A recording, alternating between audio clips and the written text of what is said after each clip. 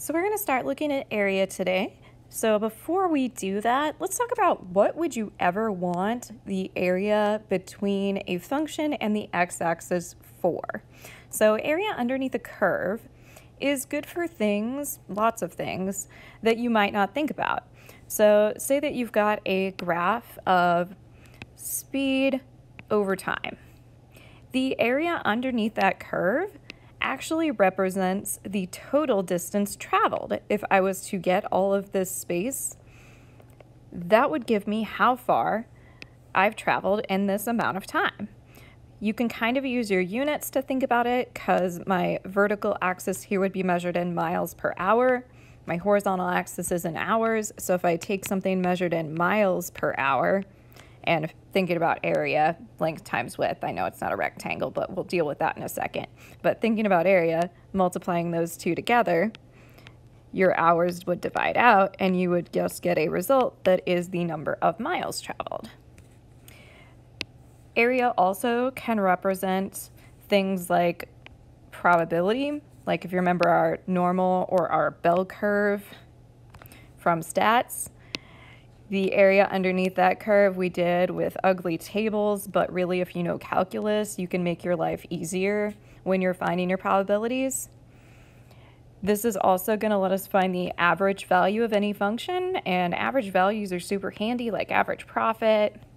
So there's all sorts of things we might want to find the area underneath a curve for. Okay, so basically what we're going to be focusing on today is estimating or approximating the area between a function and the x-axis. So we're going to do this by breaking up our region into little rectangles because rectangles are easy to find the area of. And then we're going to find the area of each rectangle one by one using width times height and then add them all together. So we're still adding stuff up. This time we're adding up area of rectangles. So you can do what's called a left endpoint sum or a right endpoint sum. So right now what's showing is a left endpoint sum because the left endpoint of each rectangle is touching my function. If I was doing a right endpoint sum, my right endpoint of each rectangle would be touching my function. So there's a little bit of difference between those two. Additionally, um, what's showing right now, the right endpoint sum, is what's called a lower sum because it underestimates my rectangle. It's not filling in all of this space. There's a lot of gaps. So if I add up the area of these four rectangles, the area is going to be an underestimate of the true area. If I was left endpoint sum on this one, it would overestimate it because I'd have extra area for my rectangles that is not actually inside the curve of my function the estimate of the area under our function to the x-axis. And you're right, it's not. The fewer rectangles we use, the worse our estimate is going to be. So what we're working up to is we could make our rectangles smaller, skinnier. They'd better fit our function's curves.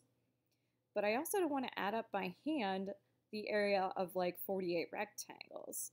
So we're going to end up taking and letting the number of rectangles approach infinity and do the limit of one of our summation formulas as, as n approaches infinity.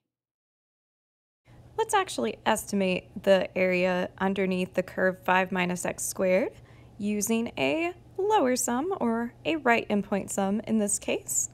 I always take it back to area equals length times width, or in this case, it's easier to think of as height times width.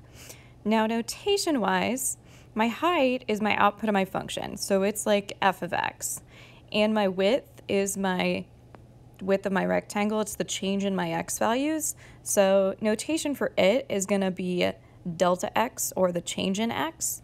And I can figure out what delta x is, or the width of each rectangle, by thinking, okay, I'm going on the interval from 0 to 2, and I'm splitting it into four rectangles. So let's take 2 minus 0 and divide by 4.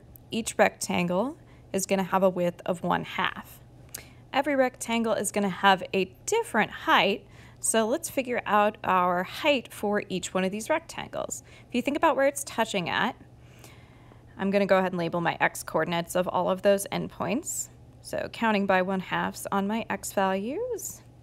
Now to get my y values, which is going to be my height of each rectangle, I need to go back up to my original function, y equals 5 minus x squared, and actually plug in the x coordinate for each of those points. So like for my first one, 5 minus 1 half squared, or 5 minus 1 fourth is going to give me 19 fourths for the height of that first rectangle. And I'm going to do it for the rest of them. I get 4, and then I get 11 over 4, and my last one's height is 1. So now I have the height of each one of my rectangles. So let's find the rectangle's area and then add them all up to get our approximation for our area underneath our curve. So I have first rectangle, height times width, and so on and so forth. One thing that might actually make this a little easier is I could factor a 1 half out of all of those since my width is the same on each rectangle and then add up all of my heights and multiply that result by 1 half. Especially if I was going to type this in a calculator, that would make it easier. So I get 25 over 4 units squared. Now we're looking at the area between y equals square root x and the x-axis. So let me do a little sketch here. Square root x kind of looks like that. And we're approximating this area between the x values of 1 and 7 we're supposed to use an upper sum, which if you think about this graph, to get an overestimate for my area, my rectangles would have to be touching on the right-hand side of each rectangle. And the width of each one, if I do 7 minus 1, 6 divided by my 6 rectangles, each rectangle is going to have a width of 1. Okay, I don't really want to draw them over on my picture, so I'm just kind of doing some little approximation here. So imagine this as my six rectangles along my x-axis between the x values of 1 and 7, width of 1 each. Okay, so the height for each of these rectangles is what I get when I plug in my right endpoint. So my first one, it's going to be plugging in 2 into my y value equals square root x function. So the height of that first rectangle is square root 2. If I think about the next one, its touching or its height is at the x value of 3, so it's square root 3 all the way through square root 7. So if I take my width of 1 times the height of each one of those, I basically have 1 times square root 2 plus 1 times square root 3 all the way through 1 times square root 7. Or I could factor it out. In this case, you don't really need to because, hey, it's just 1. But if you type those into a calculator and approximate, it's approximately 12.48 square units. We're going to switch to a lower sum, so I'm going to do a little copy and pasting here.